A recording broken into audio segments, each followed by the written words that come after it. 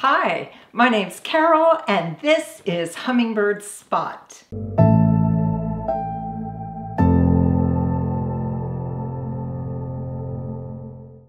We have some very interesting footage for you today. My friend Michelle Huffman Carson, who you met in one of my earlier videos when I visited her eco lodge Villa Miguelita.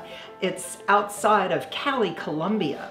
She called me to tell me that she had a very interesting situation going on on her property. She found a rufous-tailed hummingbird nest and it seemed like there were two adults taking care of it.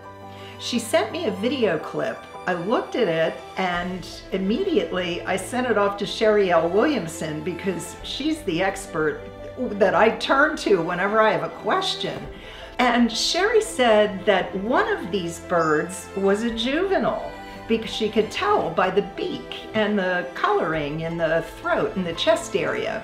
So it appears that we have a failure to launch here. We have a juvenile hummingbird, probably from this mom's last nest, commandeering the nest begging to be fed. You can see the begging feeding behavior while mom is trying to take care of this full-grown juvie at the same time taking care of the nestlings and the two eggs had already hatched before Michelle found this nest. So mom is going out catching bugs and she's feeding two babies in the nest plus the juvie. Uh, the first day she found it, the juvie was actually sitting on the nest waiting for mom to come. So at least he was working and helping to keep the babies warm while she was gone.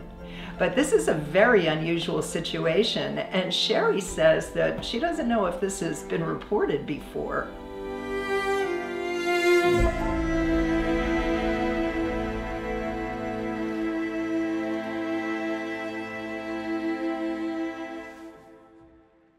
Make sure you subscribe and hit that bell because we have some very interesting things coming up. See you soon.